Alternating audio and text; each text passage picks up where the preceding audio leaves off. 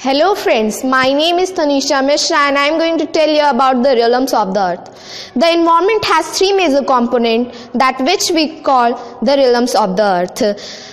Lithosphere, atmosphere and hydrosphere. Lithosphere, the land on which we live is called lithosphere. Atmosphere, above the earth's surface, the envelope of air surround the earth is called atmosphere, hydrosphere. The water bodies consist of lake, oceans, sea, ponds, etc. are hydrosphere. Now, at the last of this chapter, we learn about bi- biosphere.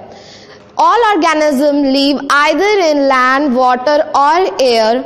The narrow belt between the lithosphere, atmosphere, and hydrosphere, where all form of life exist, is called biosphere.